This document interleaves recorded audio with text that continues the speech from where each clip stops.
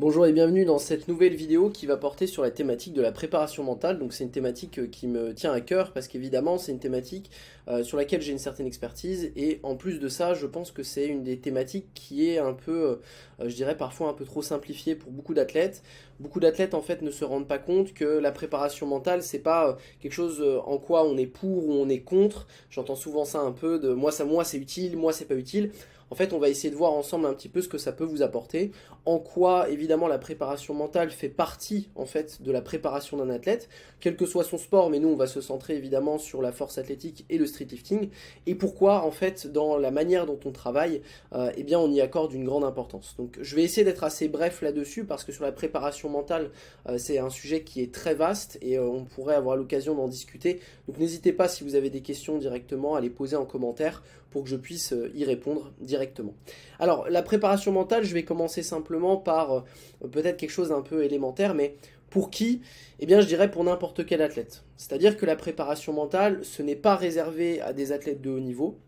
Ce n'est pas réservé uniquement à la question de la gestion du stress. On entend souvent ça, le fait que la prépa mentale, c'est utile si on est stressé.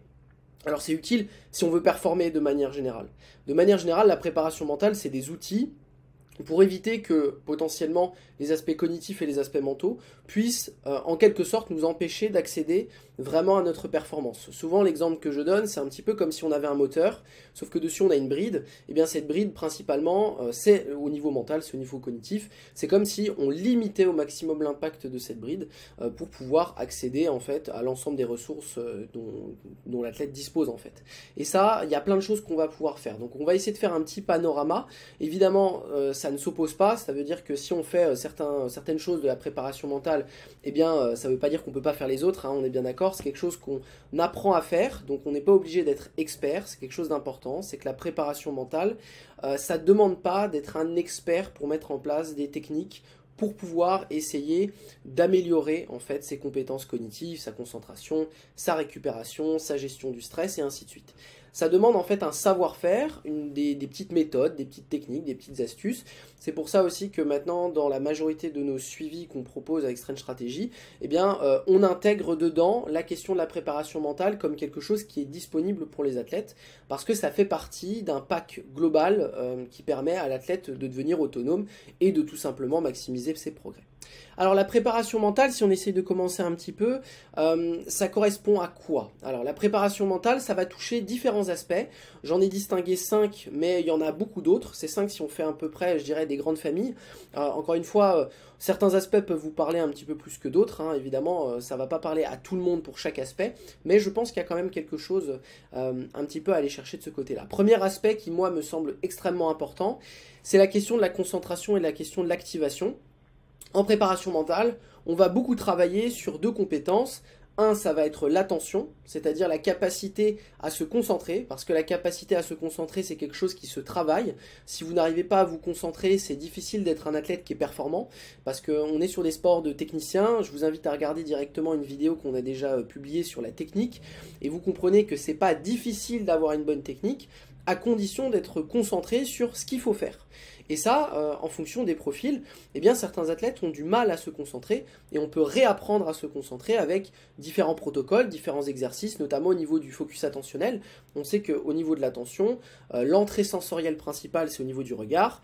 Donc, on, peut et on va travailler euh, au niveau attentionnel, visuel surtout, tout un tas d'exercices qu'on va pouvoir proposer à ces athlètes.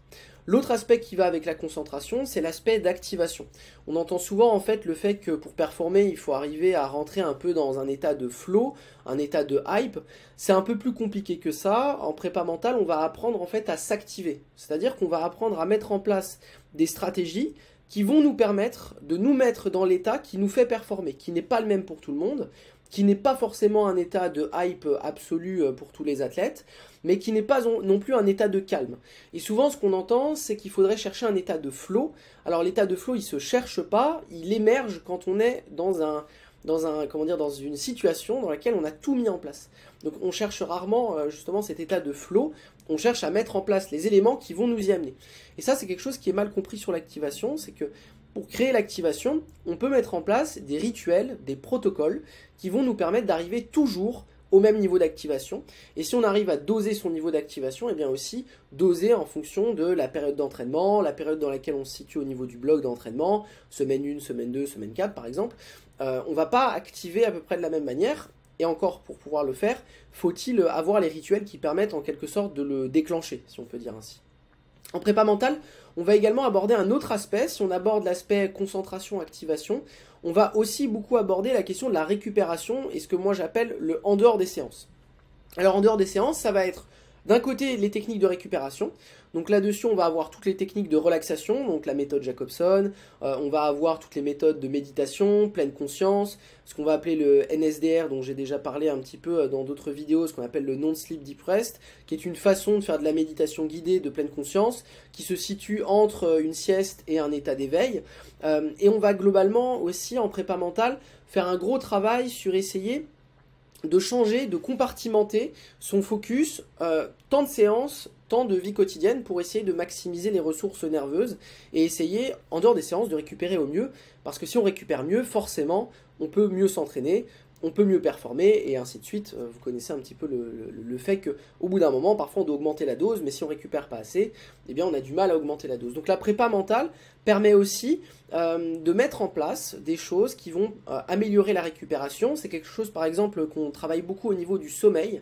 On a des protocoles qu'on a déjà développés dans certains webinaires sur la plateforme, dans, lesquels pardon, on va expliquer comment on peut optimiser son sommeil, Comment on peut optimiser également tout simplement le fait de s'endormir avec des techniques, des méthodes de, respiration euh, qui sont bien connues et euh, des méthodes également de euh, décontraction corporelle qui pourront être utilisées également pour la gestion du stress. Prépa mentale, évidemment, la majorité des athlètes qui s'y intéressent pour la première fois, c'est en général pour la question du stress en compétition. Ça, ça se comprend bien. Euh, le stress n'est pas, euh, c'est pas quelque chose de, mauvais en compétition, c'est souvent quelque chose qu'on dit, mais c'est un peu plus nuancé que ça. Euh, ce qui est problématique dans la majorité des cas, c'est la gestion du stress. C'est-à-dire que le stress doit être un moteur et non pas un frein. Et donc, pour apprendre à gérer son stress, la prépa mentale dispose de tout un ensemble d'outils qu'on, évidemment qu'on apprend à, qu'on apprend à utiliser. Hein. C'est pas des outils comme ça dans lesquels on doit être expert pour les utiliser on peut connaître les principes et comment on les met en place, et à partir de ça, on peut s'en servir.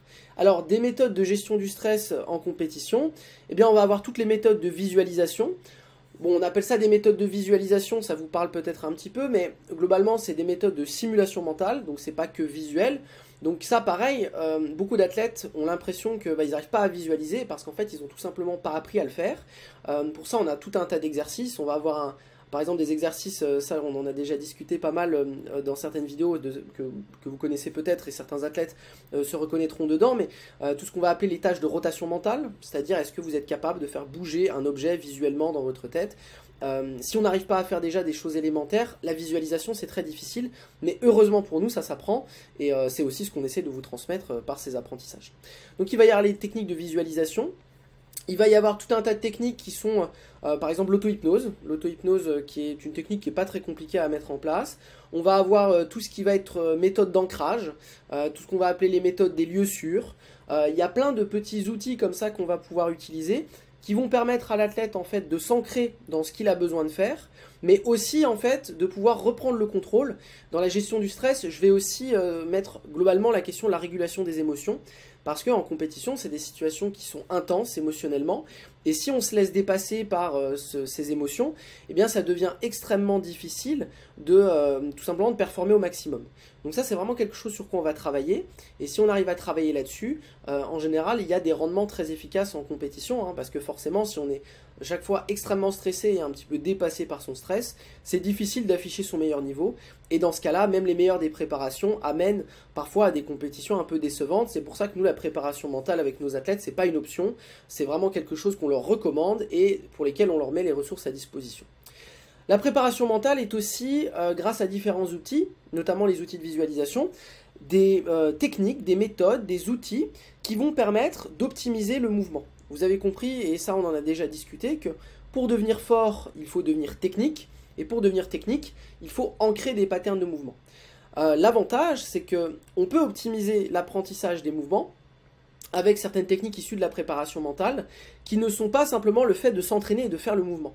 On sait que justement, se représenter le mouvement selon certaines caractéristiques euh, qu'on pourrait détailler, eh bien, vont permettre d'ancrer un schéma moteur et vont permettre en fait à l'athlète d'optimiser l'apprentissage de son mouvement, mais aussi de le ritualiser. C'est quelque chose sur quoi on va beaucoup travailler, mais tout ce qui euh, là-dessus, je, renvoie directement. On en a déjà parlé dans certains euh, podcasts sur l'idée de l'activation comportementale on peut imaginer qu'un mouvement, c'est une séquence de petits mouvements.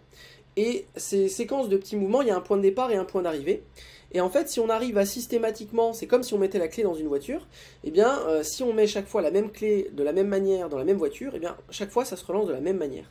Eh bien, le mouvement, c'est la même chose. Un exemple que je donne souvent, c'est au squat, il y aura toujours la même chose. Il y aura une barre, il y aura euh, nous, qui, euh, qui, allons évidemment se placer sous la barre, il y aura un rack, et il y a des choses qu'on peut toujours répéter de la même manière. Un exemple, c'est la manière dont on met ses mains. Main gauche, main droite, euh, je me mets sous la barre, quand est-ce que je braille, et ainsi de suite. Ça, c'est des choses qui au début vont demander un petit peu de pratique. Pour ça, ça peut être intéressant de noter sa séquence comportementale. Et au bout d'un moment, on va pouvoir activer le point de départ, qui va amener en fait à une succession d'actions. Et au bout d'un moment, on n'a même plus besoin de réfléchir à ces actions. Rien que le fait de faire main gauche, pof, va déclencher main droite, va déclencher le placement et ainsi de suite.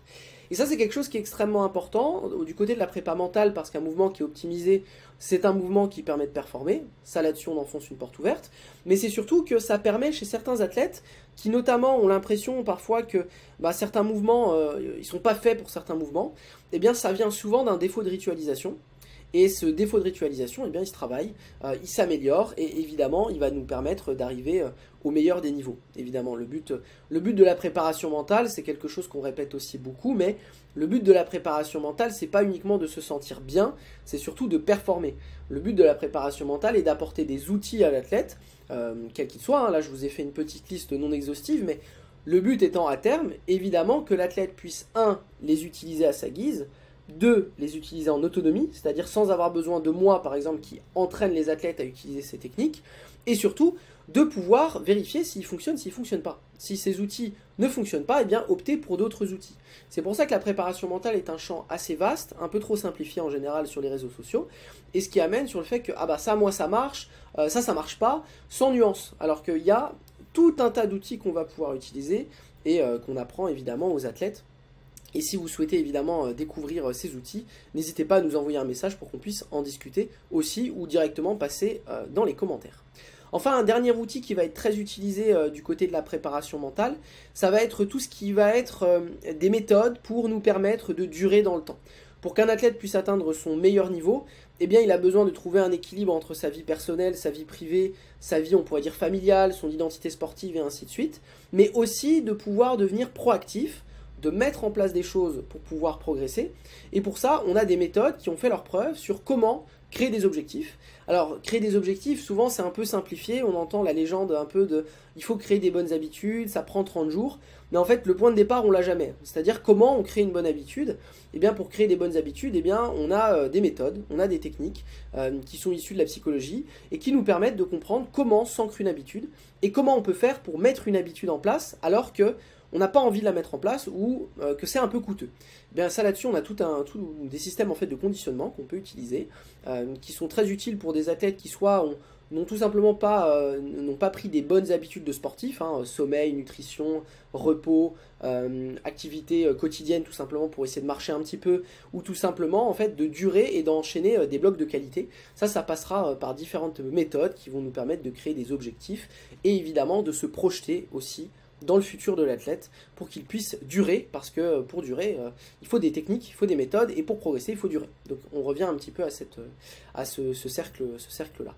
Donc la préparation mentale, c'est un champ évidemment qui est très vaste. Ici, c'est une petite introduction pour comprendre un petit peu en termes de préparation mentale. Je vous ai donné quelques pistes ici de choses qu'on peut essayer de mettre en place. Si vous souhaitez euh, pousser un petit peu ces pistes, eh bien, on en discute directement. On a mis en place pour nos différents athlètes eh des modules qui permettent d'apprendre ces techniques et de gagner du temps, parce que l'objectif, c'est pas de devenir un spécialiste de la préparation mentale, c'est de devenir un athlète qui a les clés et les cartes pour pouvoir performer au mieux. Si évidemment il y a certaines techniques qui vous intéressent plus, n'hésitez pas non plus à le mettre en commentaire pour que je puisse euh, développer certaines de ces techniques.